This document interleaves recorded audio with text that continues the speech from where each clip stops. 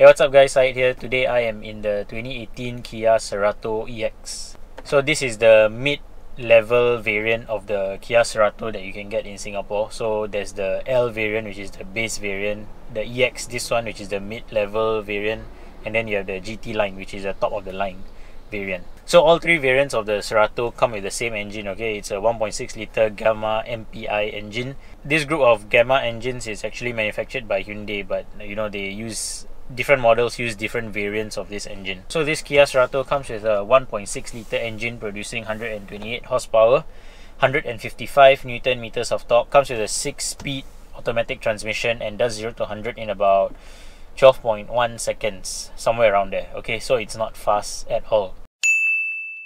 To put it into context, a GTR gets from 0 to 200 faster than this car gets from 0 to 100.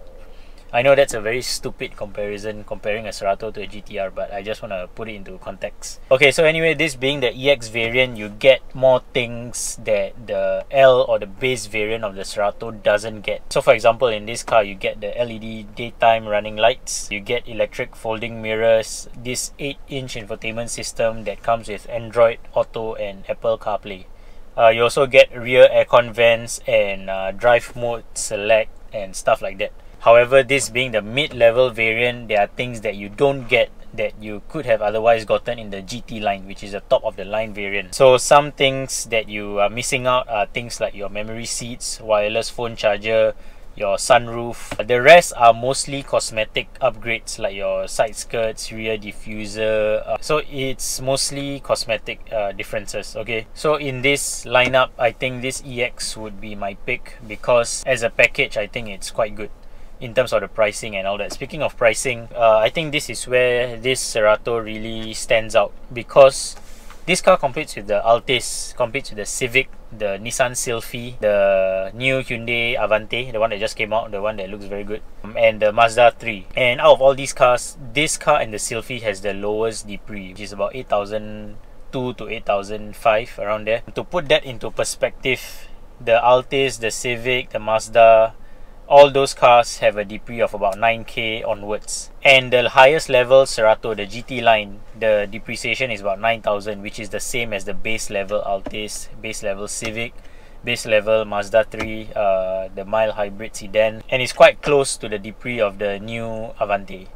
So moving on to the interior I think the interior is quite a nicely made interior okay? So even though you get um, slightly hollow feeling um, materials they design it to look good. Okay and this uh, like leather or I don't know what material this is uh, it feels better than those very hard scratchy plastics that you typically get in cheaper cars. Okay they actually made an effort uh, when they designed this cabin you can tell. Okay you get uh, metal door handles as opposed to plastic okay the buttons here they are not those hard scratchy plastics like I mentioned. They actually put some thought into the design of the speaker. The aircon vents on the sides they are actually round and you know gives it a bit of a unique touch as opposed to a regular um, you know the straight aircon vents like the one you get in the center here.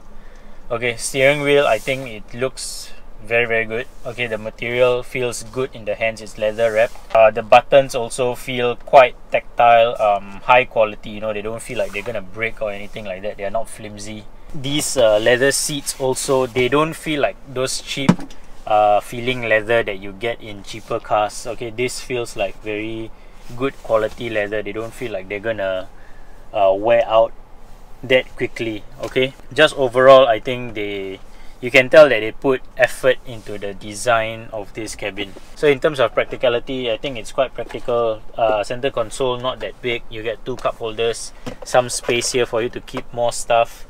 Um, there are yeah, quite a few compartments. Door bins are not the biggest but quite usable as well. Um, so yeah it's quite practical i would say. Over in the back uh, me being about 1.75 meters tall and this seat being in my original driver's position I do get more than one fist of knee room okay? It's about one and a half fists of uh, knee room. It's quite good. And I also get about maybe one fist of uh, headroom okay? So it's quite good. Center transmission in the back is not that big so it's not very intrusive. You can fit three adults comfortably in the back.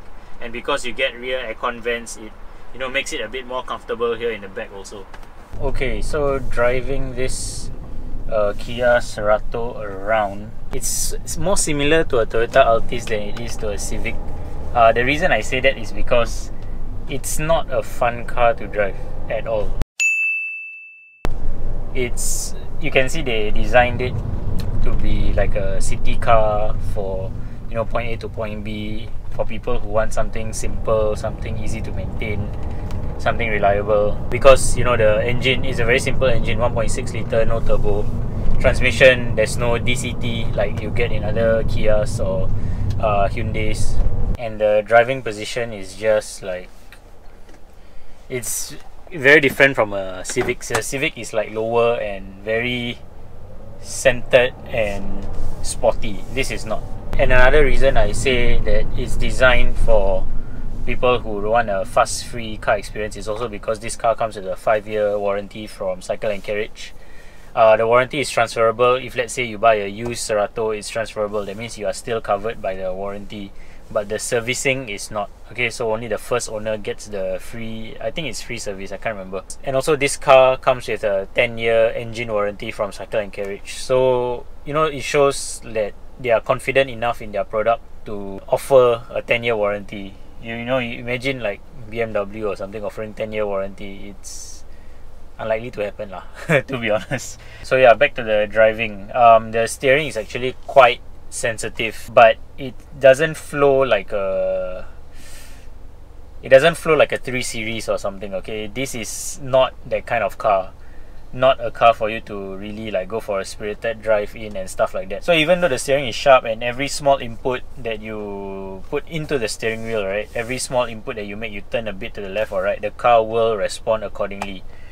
But just the overall feel it's not that fun. It drives like a Kia. You know the, the good thing about this car is that the steering wheel on this uh, EX Cerato EX is actually leather wrapped and the leather feels quite good. It, so it feels good in your hands when you are driving. And the materials uh, overall is quite good as well. So like right now I'm flooring the car.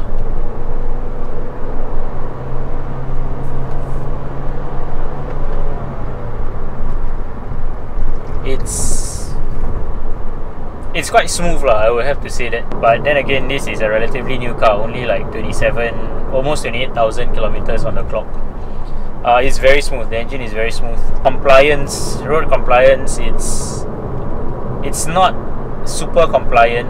Um, you do feel the bumps a little bit but it's not that bad. It's just slightly firm.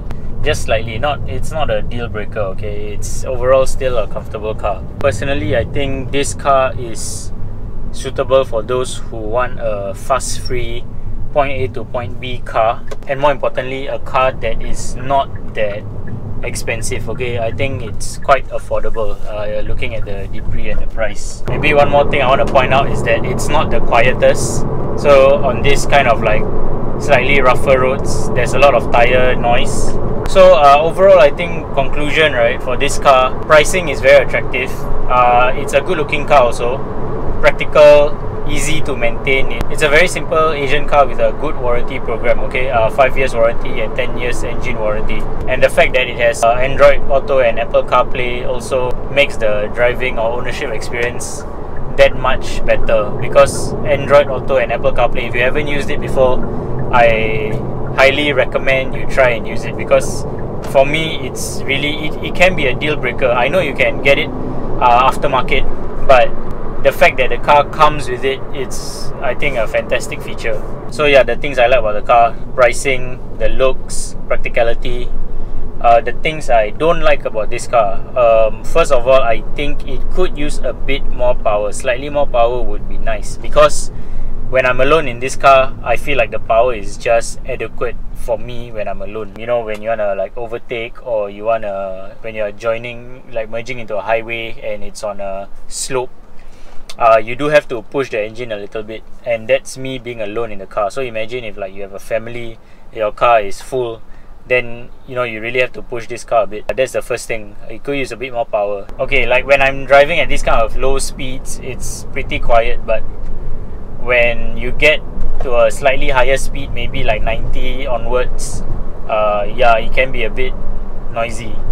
But uh, overall, as a package, right, I think for the price you are paying, it's a very, it's a very attractive package. Uh, for me personally, like I mentioned, you don't really have to go for the GT line unless you want the sunroof and the cosmetic bits.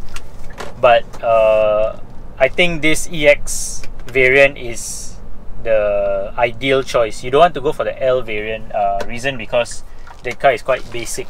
So when you wanna like resell, when you wanna sell your car in the coming years, it might not be that easy. It might not be that attractive anymore. Uh, this car, you sort of future-proof your car a little bit. So with this variant, the EX variant, I think it's a fantastic car uh, with a few drawbacks but again for the price that you are paying I think it's acceptable so yeah guys that's my review of the Kia Cerato if you have any questions just leave them in the comments down below and thanks for watching I'll see you guys in the next video